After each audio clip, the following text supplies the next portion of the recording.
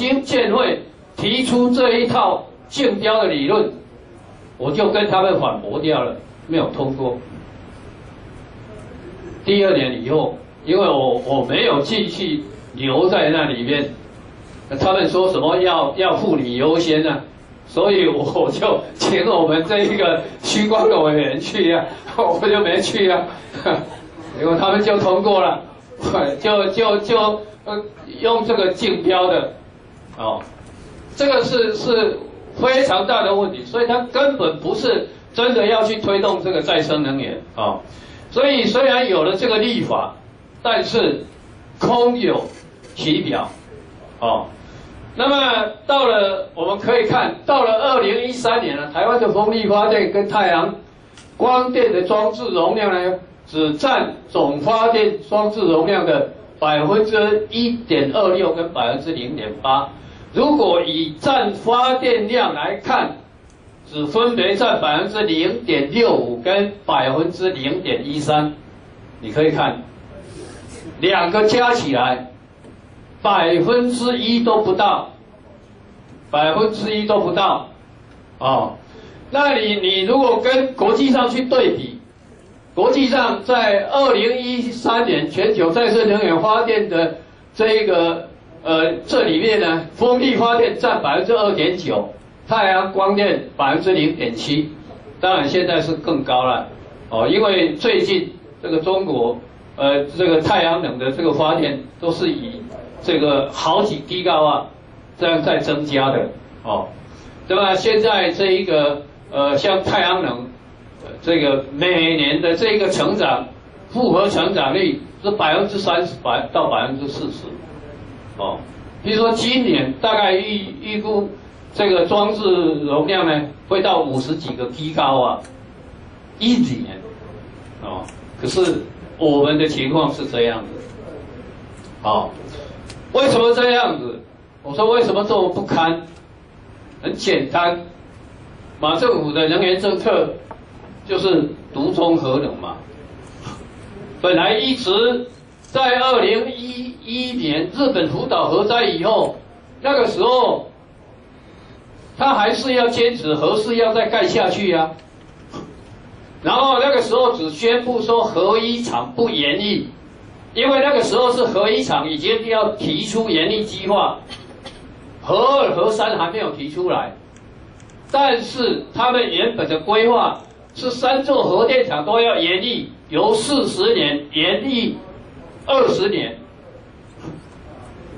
那因为日本福岛核灾，全球都在检讨，它才变成说核一厂的严厉停，可是。最近各位看到，他们不是照样提出来吗？能源局不是在那个核能会不是，啊，原能会不是在那边审吗？不是想要让他们这一个严厉吗？说不通过，我们现在就会缺电的，是不是？哎，啊，然后呢，核一厂那个呃核废料储存都已经满了。所以现在就想办法要运到德国去啊，法国去，要运到法国去再处理，要花一百多亿啊，哦，啊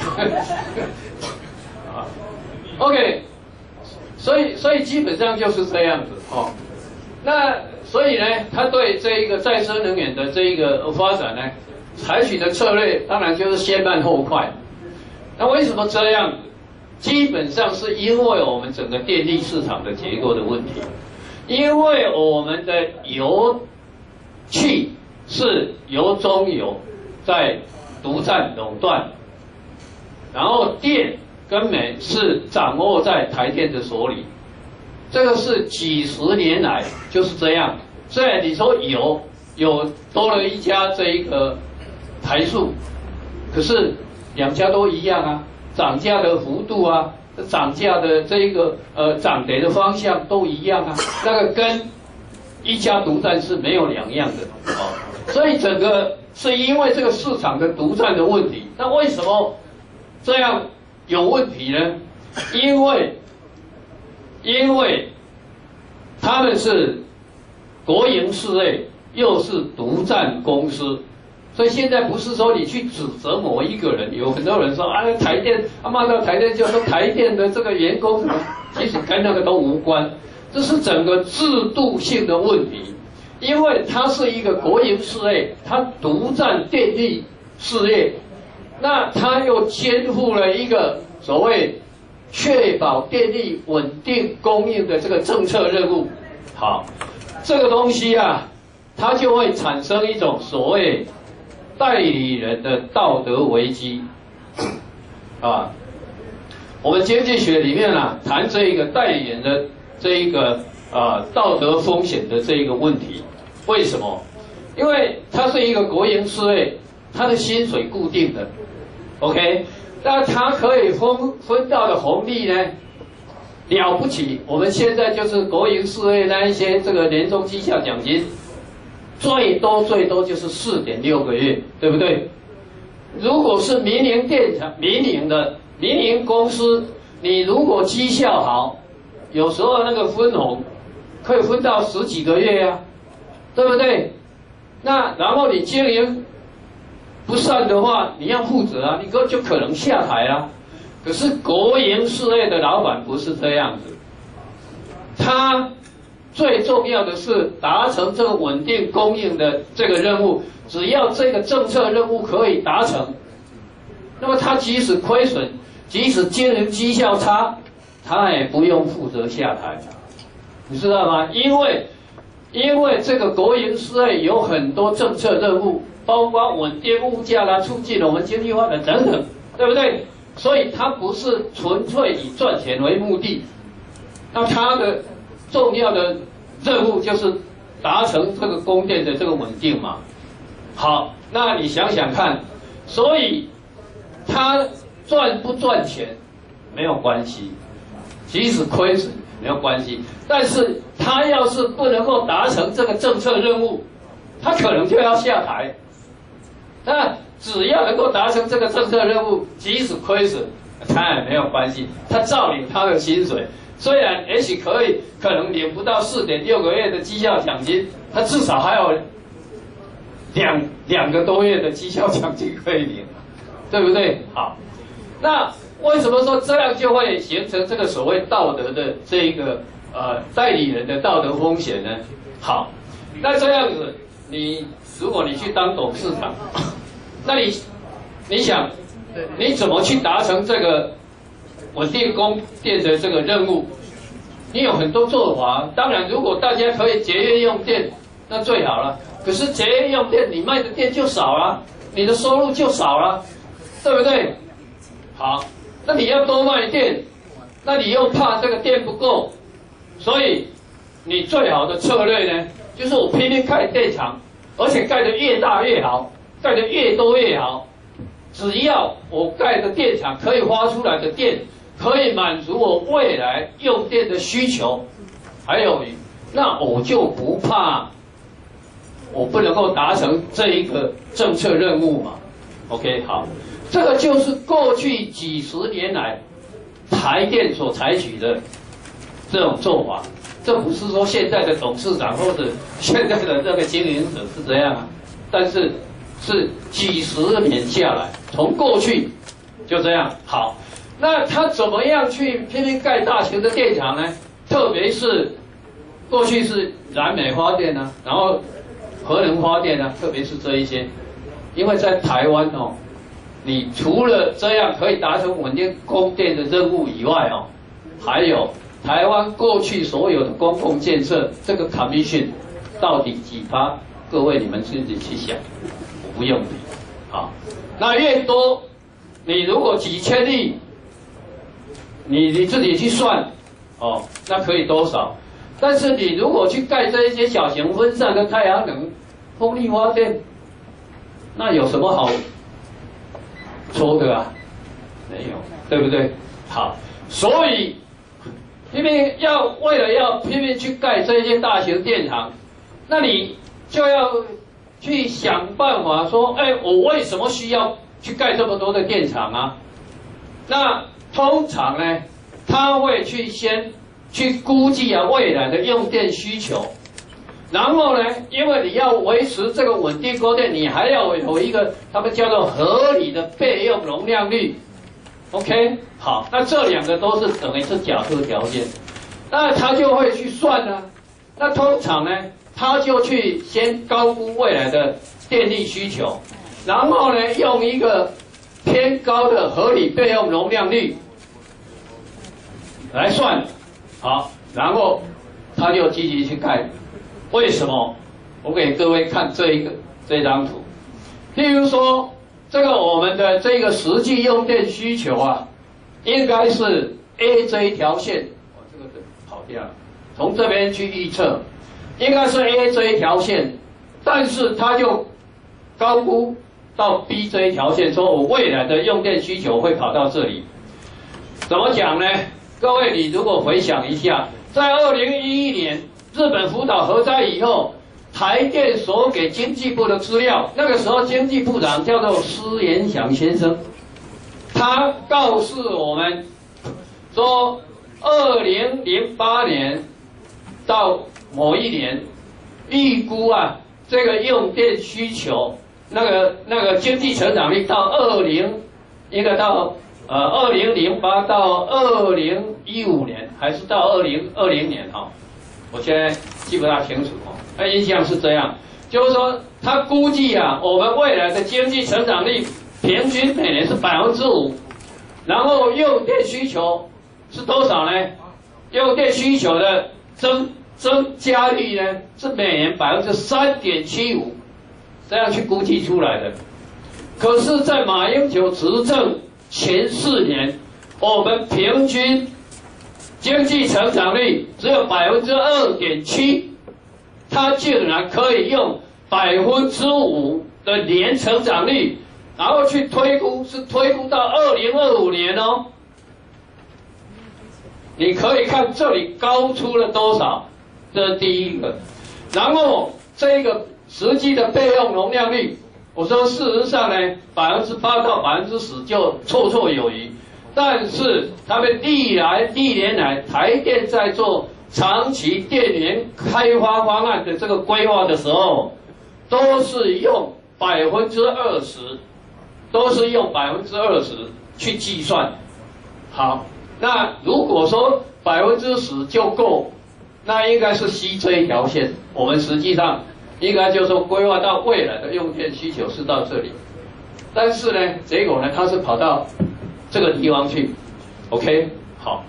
就这样。那这样呢，他就告诉你说，嗨，我现在你如果不让我盖这个核核市场，将来就电不够，所以那个时候就恐吓大家说，到二零二五年、二零一五年，如果核市不商转，那个时候我们的备用容量率只剩下百分之二点几，这个都有资料可查的哦。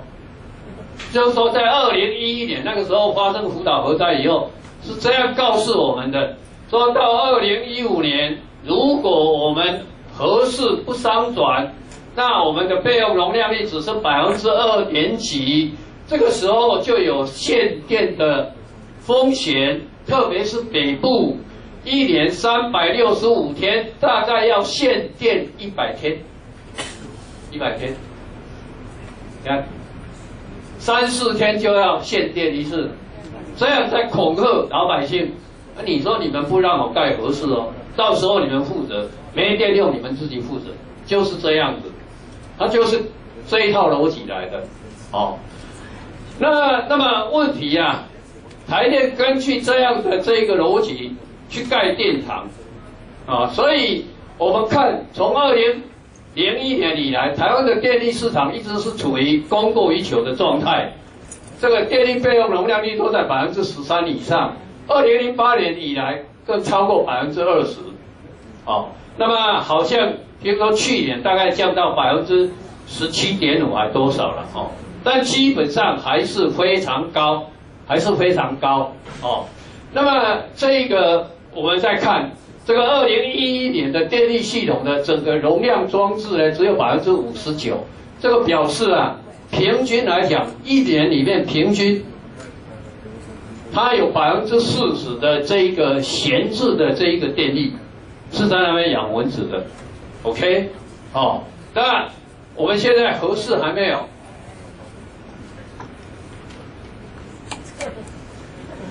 哦，啊，对不起，哦，OK，好，那那你如果说这个合适加入，那么只有增加这个备用容量率而已，完全是浪费的这个投资，哦。好，因为这个这个地方就是它实际的这个备用容量率是这么高，那我这里啊啊快一点哦，让各位了解什么是备用容量率。它的备用容量率是跟这个尖峰负载来比，也就是说它可以发的电，扣掉电厂本身的用电量之后，可以送出去的这一个电量，比这个尖峰负载啊还高出来的这个部分，假设说到这里，那这一块呢？叫做备用容量，这个备用容量除以这个尖峰负载呢，这个叫做备用容量率。那备用容量超过百分之二十，结果我们全年啊，全年的平均这个整个用电量呢是这样子，下面这一块，那上面那个呢空白就是上面那个占了百分之四十，就是平均起来是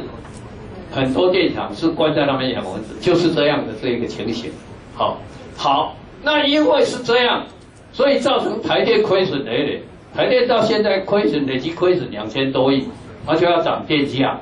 然后他说啊，那就是因为你如果还要再有去收购这一些再生能源，那电价又要涨更多，哦，就是这样子。其实是因为他浪费的这个投资太多，啊，浪费的投资太多。所以那照我们现在的这个制度。因为是一家垄断，即使我们现在有民营电厂，但是你必须要取得台电的同意，要跟台电签约，你发的电只能够卖给台电，台电再卖出去，OK？因为你要用到它的适配系统，OK？那现在是再生能源也是一样啊，你去装再生能源，你说公设公民电厂，那你的电还是要透过台电的这一些输配电网。这些系统，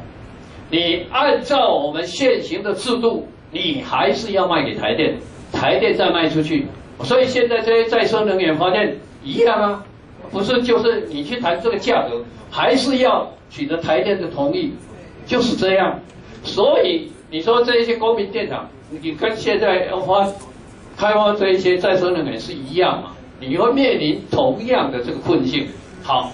台电已经亏损累累了。我们的电它已经弄得太多了，然后它还要发展核电，那一个核电厂出来就占了百分之五、百分之六，哪里还要你这一些小型分散这一些再生能源呢？你这一些能源你卖给他，你发的电卖给他，他就多花钱而已啊，他卖出的电没有增加，不会因为他跟你买电，跟你买这个再生能源发电买多了，他就可以。多卖电没有啊，所以只能够增加他的亏损而已啊，只会增加他亏损啊，所以他一定千方百计想尽办法，就说啊这个不行那个不行啊这个不稳定，这个又影响我的这个供电稳定性什么一大堆，对不对？你看德国，二零一一年它的再生能源发电可以占到百分之二十，原来他们的目标是在二零二零年要达成的啊。二零一一年就达成了。刚刚恐龙先生的报告就讲了，他们第一个自由化 （deregulation），对不对？自由化以后，然后在他们的这个法案里面啊，还规定等于是再生能源优先上电网，你绝对不能够拒绝的。他们可以这样子去推动，所以他们的再生能源可以发展的那么快，那台湾没有啊。台湾这些条件完全没有，所以如果你没有办法去打破这一家独占的综合电力事业，没有办法电力事业自由化的话，那你说我要去发展再生能源，我要去推什么公民电厂，那个都都是白搭。你有再好的这个计划也都没有用。我告诉各位，我如果这一个呃。有错哦，请我们德国的这个专家哦给我指正哦。我看的这个资料，德国在一九九八年四月，他就完成修正能源经济法。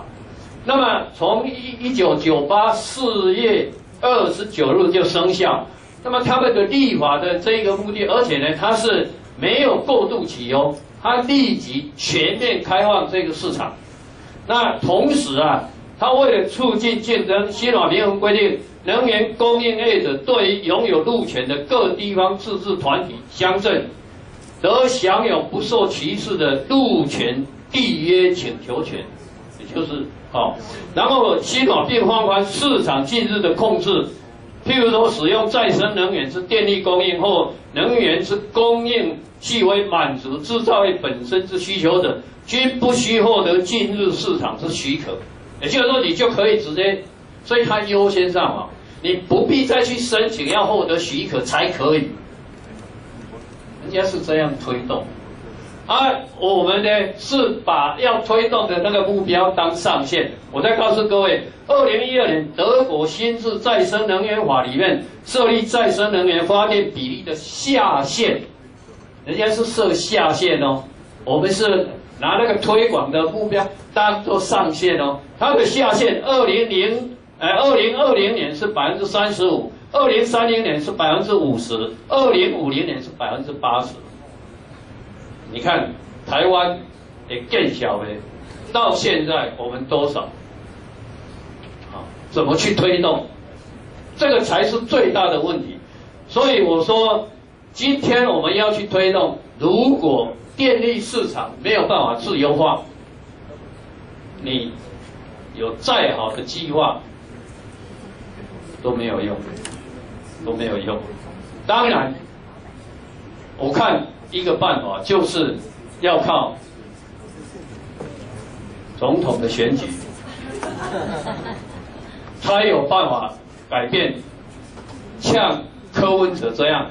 去做彻底的改革。否则，我告诉你，台湾没救。以上，谢谢。